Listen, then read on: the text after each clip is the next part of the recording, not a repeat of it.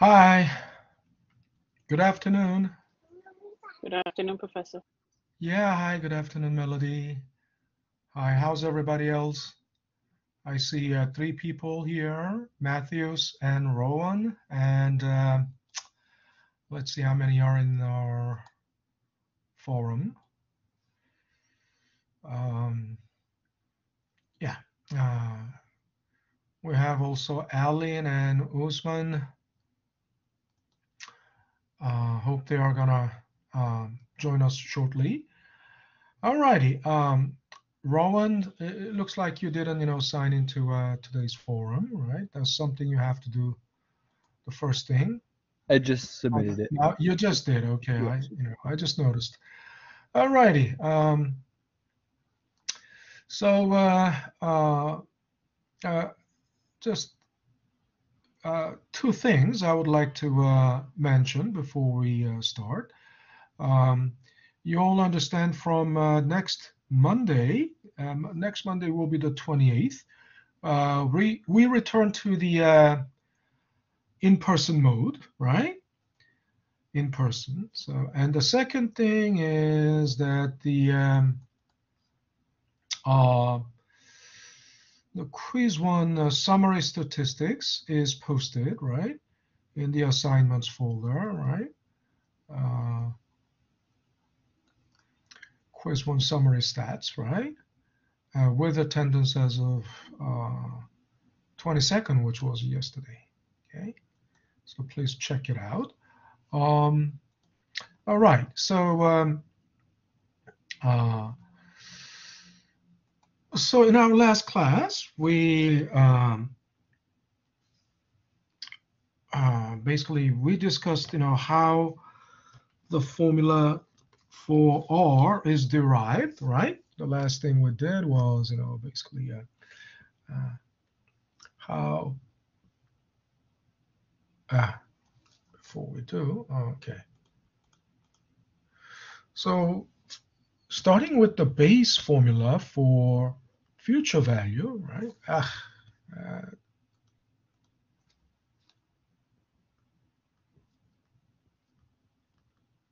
right? The second, which is basically, you know, uh, a compounding formula, right? The second formula that can be derived from this is the present value formula, present value formula or principal, right?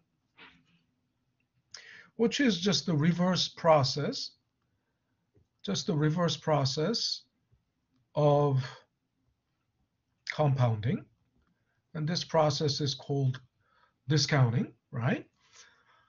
Um, and in future uh, compounding, future value is the unknown. But of course, everything in the left-hand side is the unknown.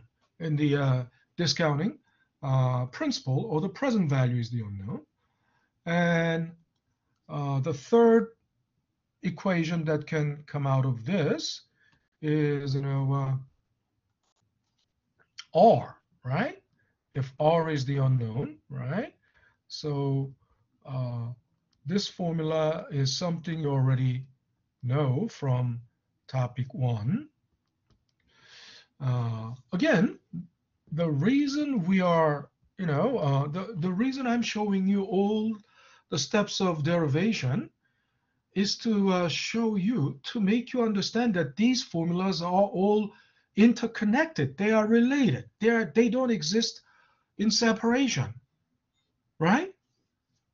They are all uh, basically the same formula, but just solved for different unknowns, right? And if you understand this, you don't have to memorize anything. You can basically know um, the only thing you need to uh, memorize is this. And this doesn't, you don't even need to memorize this if you know why it is like this, why it is, you know, uh, why compounding is like that. And then the rest of them are all just, you know, um,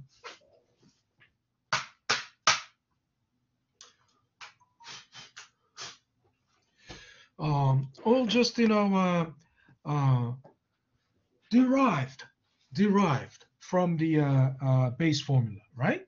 And this is important because understanding that they are, you know, um, interconnected, uh, that's important because in in general, no textbooks, no textbooks tell you, uh, no textbooks show you how they are connected and how these formulas are derived.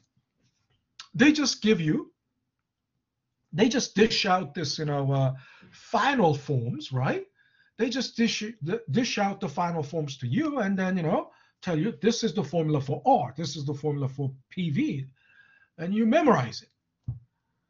Now think about it. This is something you know um, that happens. This is something that recurs. It's recurring every semester. For all those you know 20 plus years that I've been teaching, you know, um, economics and finance. Every semester, some students always come up, you know, asking me, you know, professor, do I need to memorize all these formulas? All these, do I need to memorize? Memorize. Why do you memorize? Why do you think you have to memorize? Why don't you, why don't you think about finding the system here, right? The system that, you know, integrates everything. If you understand the mathematical reasoning behind it, right? You can derive all the formulas from the base formula. And even the base formula in topic one, I showed you how, why it um, boils down to uh, this form, right? So it's something, um, so if you understand and if you're capable of deriving all the, you know, mathematical process, if you can do the uh, mathematical process, then you can derive all these formulas. And that's the reason I'm showing you all the steps of derivation. And as far as I know, there is no textbook that shows you these processes, right? Steps of derivation. And no, no class, no professors, no professor, at least on undergrad level, teaches how these formulas are related. Maybe on graduate level, then, you know, um, but think about it. The point is, um, so that you don't have to memorize all of these. You think, you know, you need to memorize. If you think you have to memorize that, all of that, that's, you know, that starts to become an onerous job. I mean, of course, you can memorize, you know, uh, uh, you may be able to memorize, uh, but for a while. I mean, your memory can be retained for one semester, but after the semester is over, then you'll forget as you know quickly as you know um,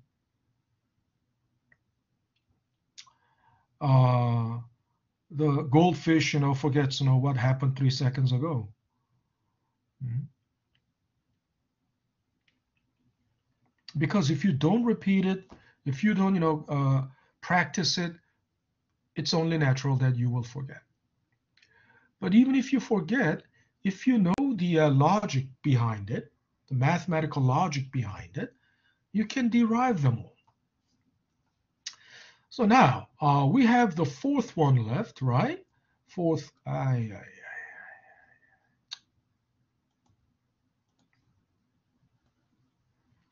And the fourth variable is, uh, of course, then n. What if n is the unknown? How do we solve for it? But before we do that, uh, let's um, refresh your memory. Let's refresh your memory. Uh, uh, first of all, I told you, uh, I showed you uh, last time, uh, I told you to study this, right? Because this, these are basically, you know, um, uh, the fundamental uh, characteristics of the power functions, right? The exponents. Um, so why? Uh, first of all, we uh, last time we uh, talked about basically, you know, what is, you know, uh, x to the negative n, right?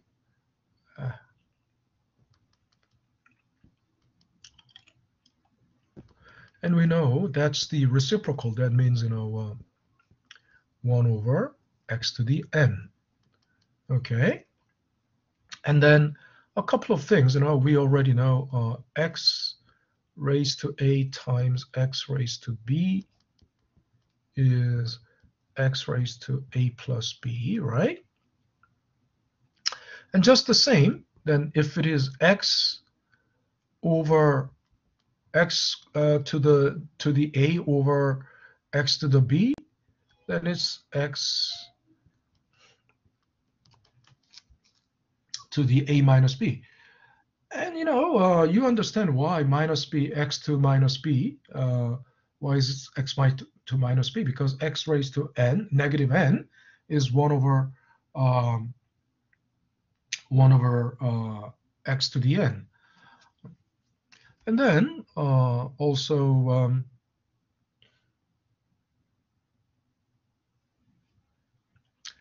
uh, next was what another thing uh, yeah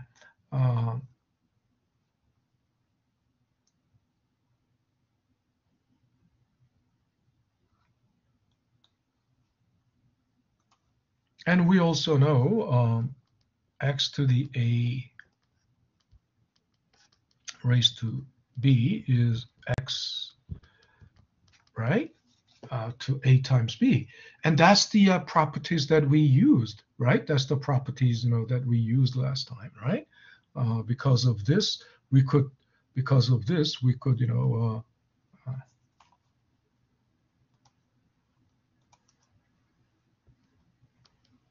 we could you know uh, do this. And then also um,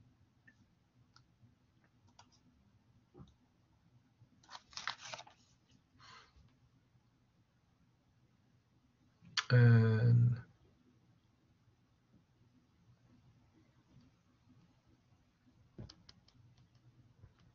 x to the a over x to no no no no not that. Um what was i what what did i want to okay uh, so um uh, when the base are different, right? Uh, when the base is different, in this case, it's you know a to the c times b to the c, but you know uh, base is different, but the uh, exponents are the same. Then it's a times b uh, raised to c. I mean, you know, you can do a uh, simple experiment. You know, like try you know two squared times three squared, right? You can simply do that. You know. Um, uh, try that, right? So in other words, x to the a that uh, y times y to a. Is x times y raised to a. Just try that, you know, 2 squared times, you know, 3 squared, right? Which is, you know, um, then think about it. Um, 4 times 9, right?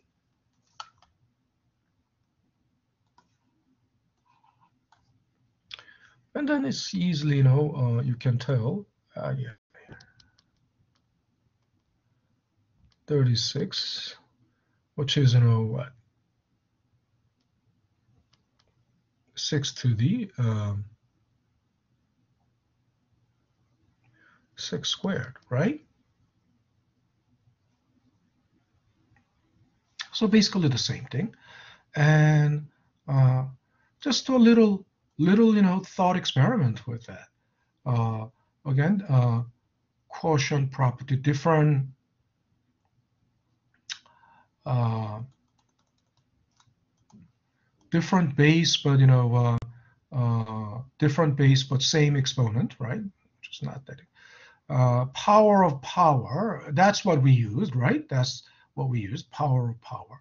And rational exponent, you know, it's basically ratio, 1 over A to uh, 1 over B um, is, you know, um, uh, well, uh, that's what I already showed you, you know, um, basically, you know, uh, uh, it's the square, you know, uh, radical, radical, right? Um, and then uh, a raised to c over b is, you know, uh, a bth radical of a to the a raised to c, right? So we can go over, you know, each example. But what's what's interesting is, you know, uh is we all know, we all know, uh, anything raised to zero is one. But why? You just memorized it. But think about it. Um, what would make you know the exponent zero? If you do x raised to a times x raised to negative a, uh, we know it is x to the a times 1 over x to the a, right? Because this is you know uh, uh, reciprocal, and then they cancel out. If it cancel out, it becomes 1, and the exponent by exponents alone, right? Same base, different exponents. You just you know uh, add them up, and you know uh, it's uh, subtracted because it's negative, right? The second one is negative, right? So it will become zero. That's why anything raised to zero is one. In other words, you don't have to memorize. You can just you can just plug in a few numbers and you will see for yourself. You can see for yourself, right? So it's you know it's important to um, uh, verify by your you know uh, verify for yourself. Don't just you know don't just let it you know uh, uh, there's you know if you see a table of values you know why uh, and those tables must make sense. I mean uh, lots of times they uh, present some table. I mean. Um, but a lot of students just think, you know, uh, ah, that must be okay, that must be right, because if it is wrong, they wouldn't um, use it there. You know, uh, no, how? Uh,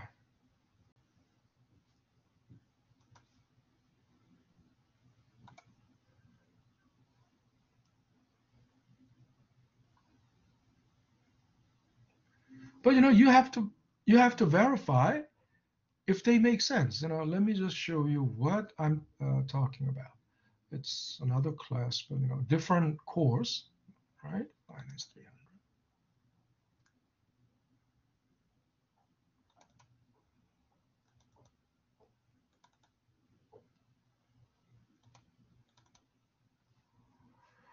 for example right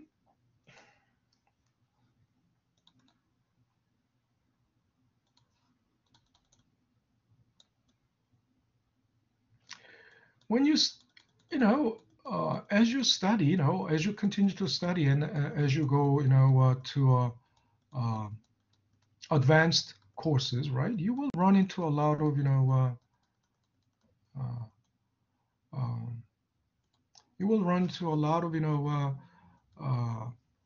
statistics. In other words the, the table with you know um, certain statistics you know and the authors are uh, presenting those statistics to prove their point.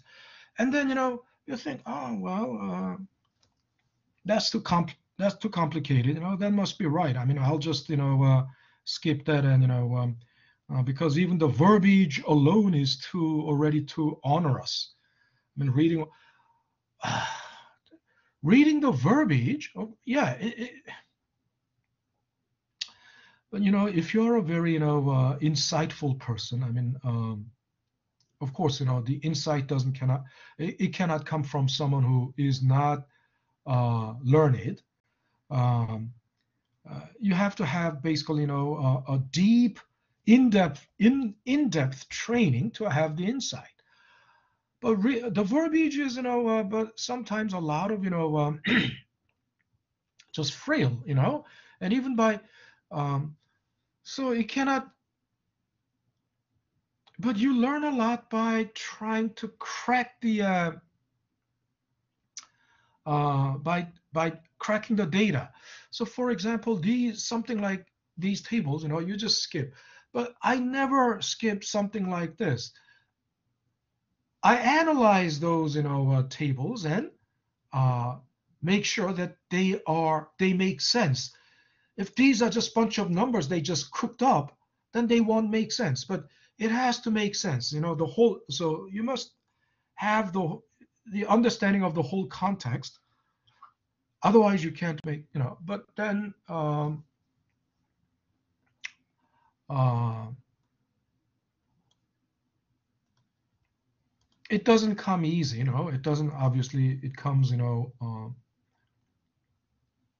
clearly, it comes at you know. Uh, uh,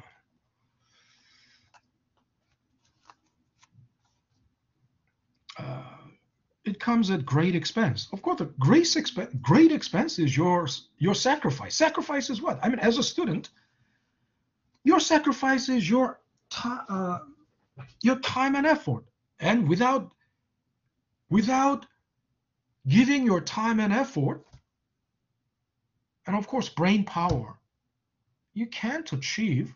You, know, you can't achieve. You know. Um, um, you can't achieve enlighten, enlightenment. You can't achieve enlightenment, right? Or you know, a higher level of light. You can't. You know, you have to give your you know time and effort. Now, so um,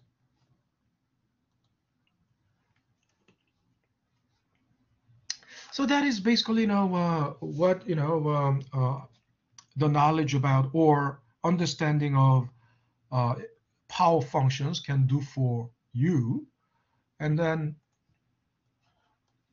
to make you know um, uh, that will help you understand you know uh, the connection between the uh, uh, different equations, different formulas, why they have to be like. Now let's think about n this time. How do we solve? That's possible. You know, we all know Oh, well, the principal is 10K. If you put that, and your you have a target future value. Your target future value is 50K. And if the uh, interest rate is 10%, right? Uh, this interest rate, of course, APR. Uh,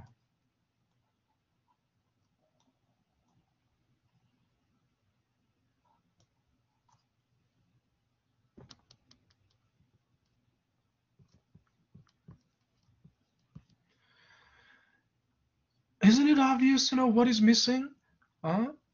so the question is how many years will it take right? How many years will it take? What's going to be the n how many years will it take right? So that's quite plausible right? So how do we solve for n then? How do we solve for it? So um,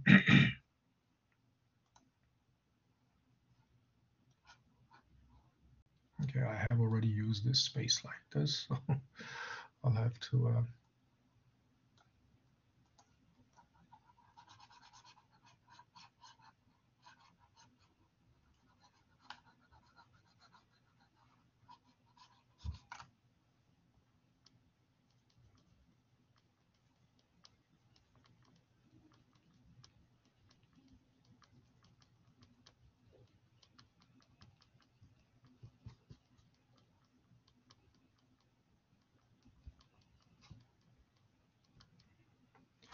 All right. So then, you know, first, you know, of course, we will always have to start with the uh, base formula, which is this. And of course, you know, uh, this is the padlock. Uh, because of this n, um, uh, but you know, our question is, this is the uh, unknown this time. This n is the unknown. So how can we, we need to isolate n, but how do we isolate n? Uh, I mean, what we can isolate is first, you know, um, uh, what we can do um, immediately is isolating this term, right? because n cannot be detached from 1 plus r because it's the uh, padlock on the cage, right? So if the cage goes, the padlock goes too, right? If you move the cage to another place, right, the, uh, the padlock goes with it. So what we can isolate first is basically, you know, um, the cage from, you know, the whole thing. So to do that, we, you know, of course, then divide both both sides by um, p. The right hand, uh, left hand side will be like this. The right hand side, we will have only this left. And then here's our dilemma. Okay, uh, uh, why? Uh, because the key to solving any equation, the key to solving any equation, I've been telling you over and over, the key to solving any equation is by identifying uh, what? z equals x times y structure. Key to solving any equation is, right?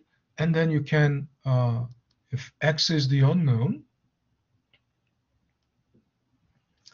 right? Then, you know, uh, we know x is z over y. We can do this.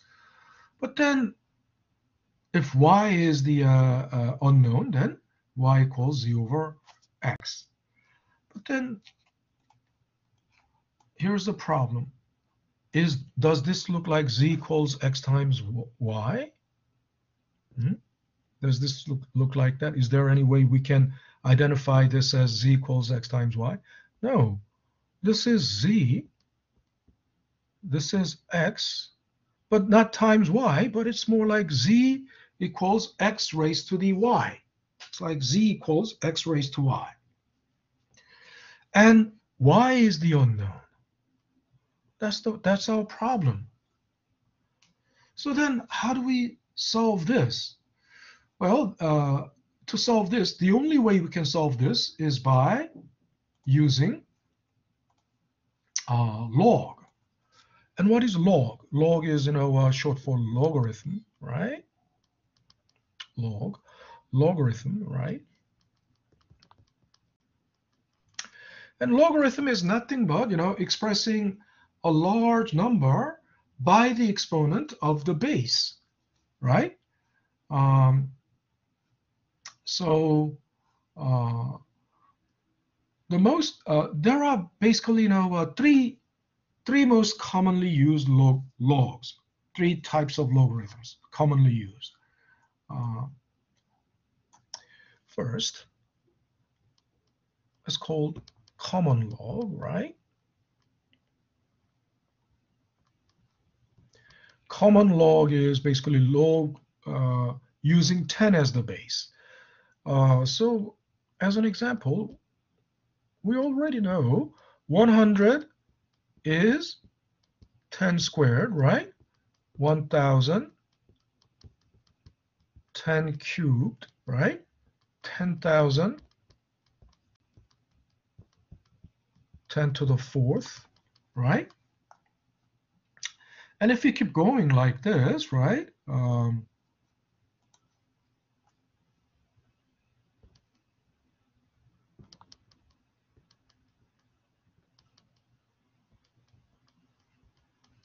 one million, right? 10 to the sixth, right?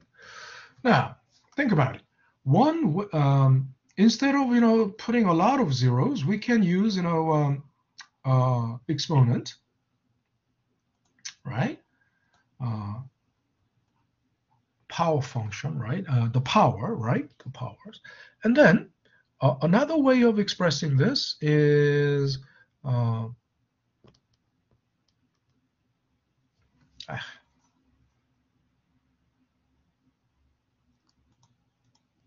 another way of expressing this is uh, base 10 log, taking log, base 10 log of 10 squared. Okay, uh, base 10 log of, uh, let's do it this way.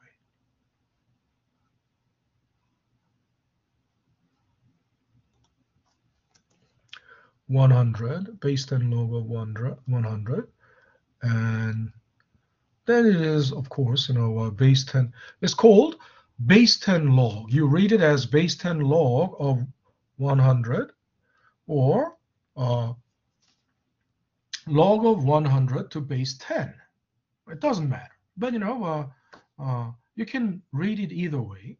But base 10 log of, you know, 100 can be rewritten as uh, base 10 uh, log of 10 squared. But now let's think about it. That means if we can write it like that, that means, you know, uh, 10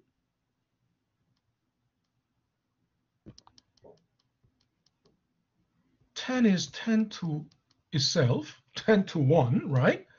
So uh, base 10 log of 10, this thing is 1, right? In other words, you know, this uh, base 10 base 10 log of 10 is 1. In other words, um, it means nothing. I mean, you know, uh, base 10 of 10, base 10 log of 10, what else can it be? It will be, it will have to be 1, right? And then again, so uh, when the base is, when the base is, you know, uh,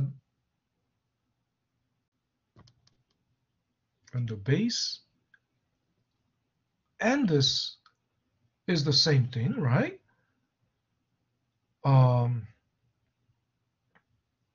it is one. And then uh, another another thing, um, when it is like this, uh, you can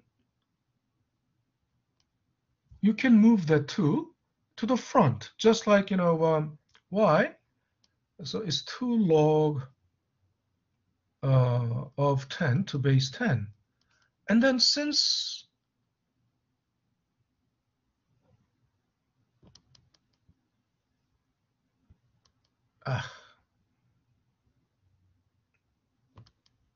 since log 10 of 10 is 1, it simply becomes 1, right? Uh, uh, it simply becomes 2, right? In other words, what that means is um, this will become 3 base 10 log of 10. This becomes uh, 4, then it's 3. Uh, 4 log of 10 becomes 4, right? And then uh, 1 million will be uh, 6 times log of 10 to base 10, which becomes 6. So what does this, you know, uh, uh, what does this mean? Uh, two things we can take away from this. Uh, one, um, uh, in log, if you express large numbers in log, um, the exponent, so for example, log x to a, of course, you know what that means the base is x2, right? Uh, the base must be also x. Log of x to base x to a. Um, this can be transformed to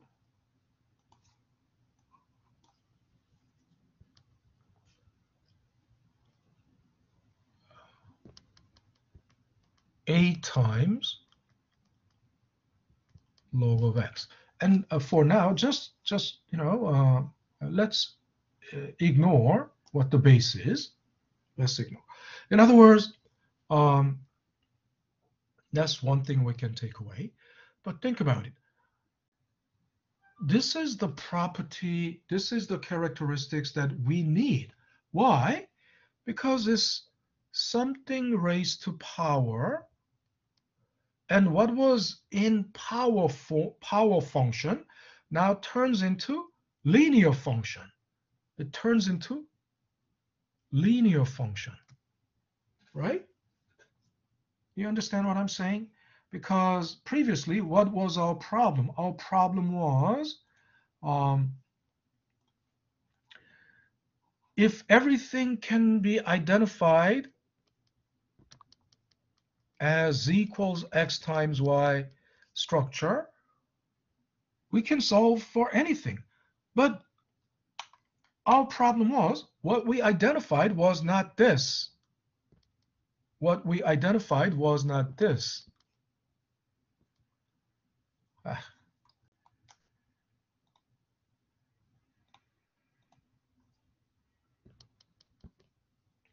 What we identified was not that, but rather what we identified was like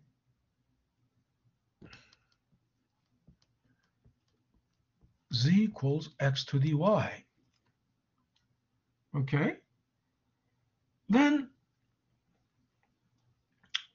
the pro so that was why you know we had a problem. But then uh, because it's not x to the uh, z equals x times y format, but it's z to the uh, x equals I mean z equals x to the y structure, right? If it is like this, then uh, how we solve for y. The only way we can solve for y is by turning it into log, by changing it into a, um, so in other words, if we take the log, right? But if it uh, on the, uh, if you take the, if you take the log, it's going to be y times log of x. But remember, I've been telling you over and over, we're dealing with an equation. Equation means, you know, uh, um, there's an equal sign between the right-hand side and the left-hand side, right? And if you do something to one side, only to one side, then the equal sign can't hold. It won't hold, right? Because it's an equation. It's balanced. Basically, it's balanced out. So uh, if you want to uh, uh, uh take the uh, log to the right hand side, you need to do the same to the left hand side, right? So in other words, um, you'll have to do, this is mathematically, I mean, uh, the way it is written, you know, it's not correct, but you know, then that means, you know, you will need to also take the law. ay, ay, ay. You'll need to also take the law to the right, uh, left-hand side. Okay, that's the only way that equal sign can hold, right? Without disturbing the equal sign, right? So the same thing. Uh, so um, then, you know, to summarize it, uh, we need to turn this into log of z equals y times log of x. But once it is done, once it is done, then solving for y is easy. How do we solve for y? Now it is z equals x times y format. Isn't that right? Now it is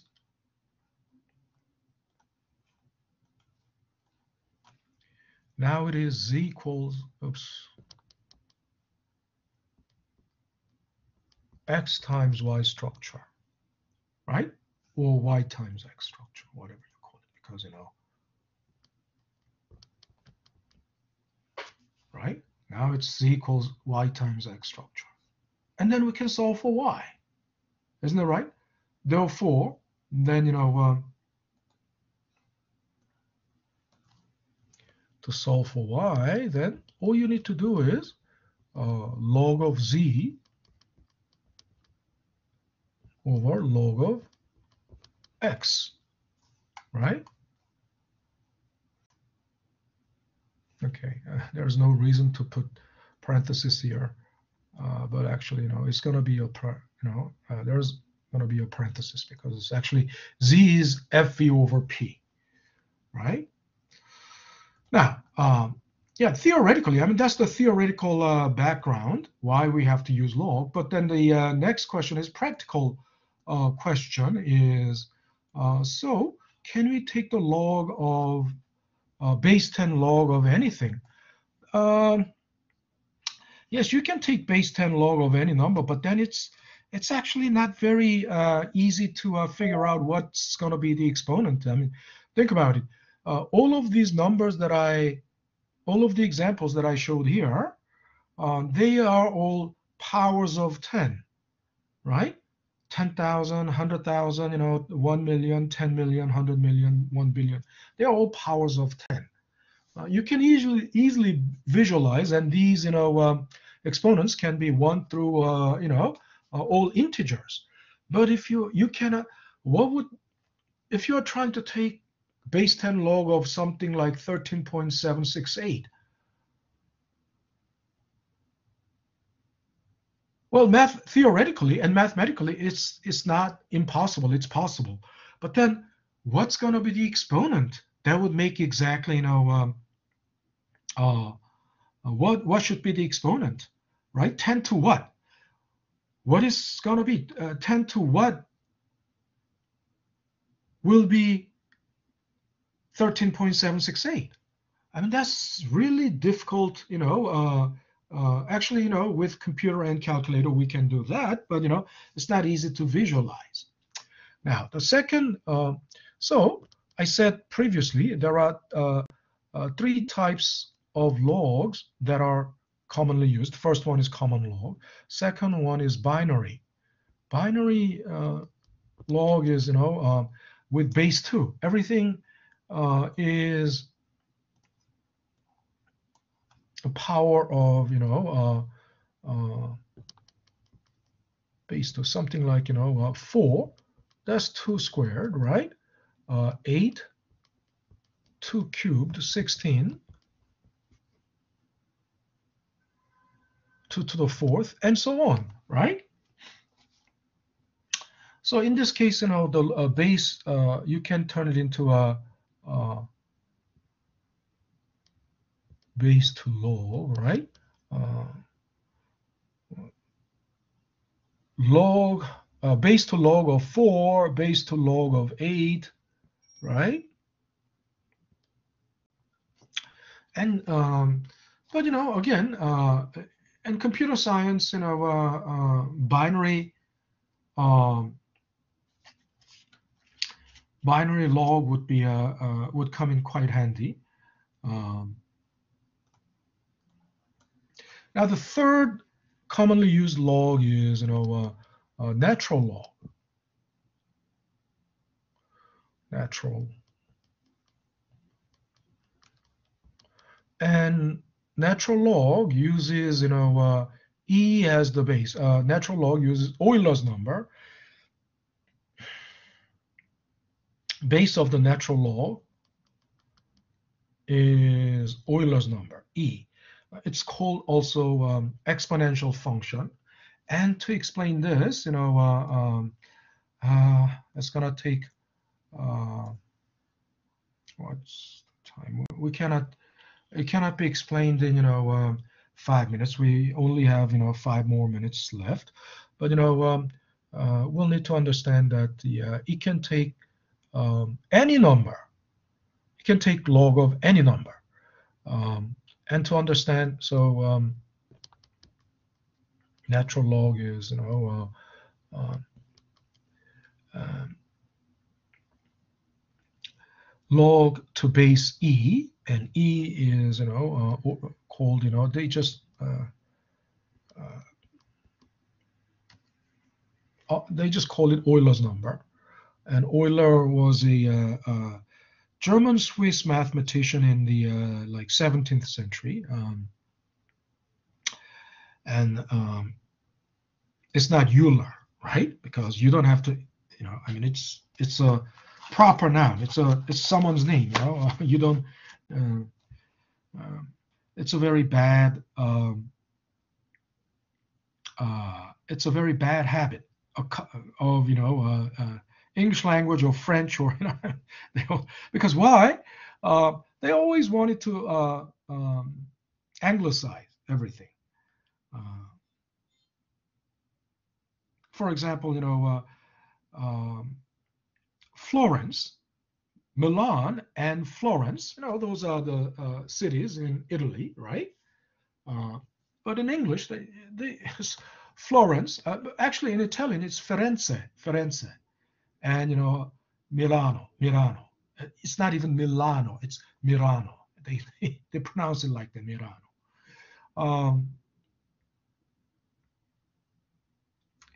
uh, whatever is, you know, uh, these days, you know, I, I don't know, you know, uh, in, in like 10th century, I mean, that's during the Middle Ages, you know, I mean, travel, you know, international travel wasn't common, and you know, know, uh, knowing of foreign language, knowledge of foreign language is very limited. So, yeah, it's understandable. But these days, even these days, you know, uh, um, if you can't pronounce Firenze just because English is your uh, first language, then something's not right. Something's wrong. I mean, is it so difficult? I mean, you can pronounce pizza. If you can pronounce pizza, why can't you uh, pronounce Firenze, right? Um, or Milano, right? Um, so if you forcefully anglicize the names like, you know, uh, uh, proper nouns like Euler, uh, it's German name, so Euler. What's wrong with that? Uh, it's only uh, in, you know, you're respecting his, you know, uh, uh, this guy's, you know, uh, heritage, then, you know, uh, it's only right to uh, call his name, pronounce his name in his own language. Um, but anyway, um, Euler and Gauss are two uh, Uh, in modern math, you know, uh, there's also uh, Lagrange, which is, you know, uh, who is uh, who was French mathematician, very great mathematicians. You know, Bachelier is, you know, Middle Ages, you know, from medieval times. But you know, Bachelier was French, you know, mathematician. They were all, they were generally all, you know, Lagrange was. I, I, know Bachelier was a, monk, and in those days, you know, only the monks were uh, uh, the educated.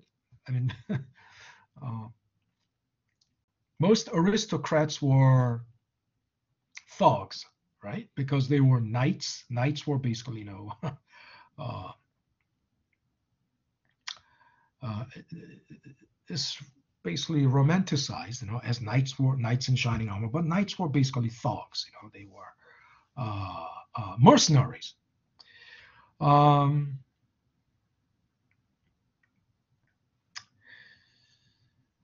So monks were, you know, the only ones who were like, you know, uh, not only literate, but they were the ones doing the research. I mean, the studying. You know, uh, Bachelier in the Middle Ages and Lagrange. I, I believe Lagrange was a uh, an aristocrat. Uh, Gauss and Euler were uh, Lagrange, Gauss, and Euler were um, three, you know, um, modern mathematicians that really made a great, great impact to uh, uh, math. And Gauss was also uh, Gauss was a German. Uh, I think Gauss was also German Swiss, Swiss German. Gauss, um, and you know, I, I hope you wouldn't anglicize his name as Gauss, right? That's really that's awkward, very awkward. So Euler discovered this number, uh, uh, and this is a, um, uh, they don't they have a name, you know, they don't call it by uh, just like pi. The reason they have a name is because it's an irrational number. Irrational number means it goes on forever, right? Uh, the decimal parts do not repeat, right? If they repeat, you know, uh, at some point you can stop, but you know, it doesn't repeat, it goes on forever. So uh, we don't actually write out that number, we just use it as, you know, E, Euler's number. And it's the basis uh, for exponential function. And another way to write natural log is this. And of course, that's quite natural. You know, we know why it is ln. Oh, that's natural log right? And of course, you know, in French, you know, uh, it would be uh, log naturel. So, you know, ln. Um, but, you know, with natural log, you can take log of any number. You don't have, you know, any limitations in the choice of the numbers you can take log of. So uh, to understand this, um, uh, we need another uh, hour. I said, you know, there were two things, two takeaways from uh, log. One is, you know, this, I explained it already in, in my main lecture, but, you know, uh, since we are out of time, uh, I'm going to talk about it in the next class. All right. So any questions so far? Any questions? Questions? All right, if you don't have any questions, uh, I'll have to call it a day. Have a great uh, afternoon, everyone, and I will see you next Monday. Uh, and next Monday we'll meet. all righty, take care, Cedric. Uh, we'll I'll see you in uh, F707 next Monday. Okay. All right. Uh, stop recording and.